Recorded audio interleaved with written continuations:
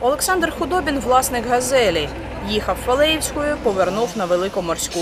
В цей момент на автівку впало дерево. Говорить, добре, що в салоні був сам. Нікуди не обращався. Нікуди не звертався. Під'їхала патрульна поліція, викликали ДСНС, обленерго, щоб відключити електропостачання. Патрульна поліція у мене взяла пояснення, що сталося. Поки на цьому все. Поки на цьому все. Очевидцями події став екіпаж патрульної поліції.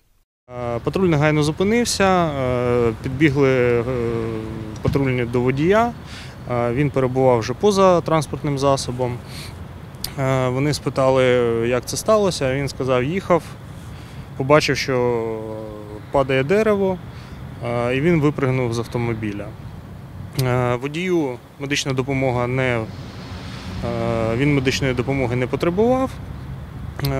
Патрульні негайно перекрили рух по цій ділянці е, та повідомили всі екстрені служби. Рятувальник Олександр Бузун каже, якби на місці газелі був пасажирський транспорт, наслідки були б іншими. Наслідки могли бути різні в залежності від попадання. Навіть цю машину водій був на місці під час руху. Маршрутка, звісно, наслідки трагічні могли бути.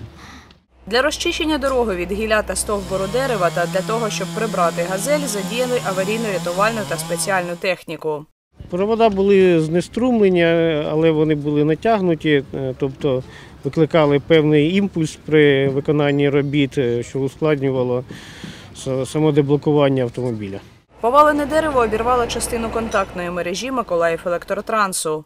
В грошах це завдало е, достатньо, достатньо великі збитки, так, я, так що е, представляють е, тролейбуси двох маршрутів, які здесь здійснюють рух.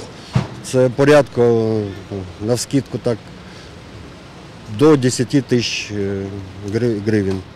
Власник автівки Олександр Худобін планує звертатись до правоохоронних органів та суду, аби відшкодувати збитки.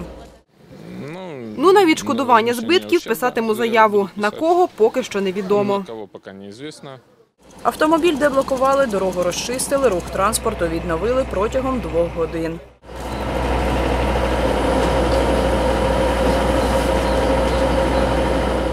Валентина Гурова, Євгенія Голубова, телевізійні новини Миколаївщини.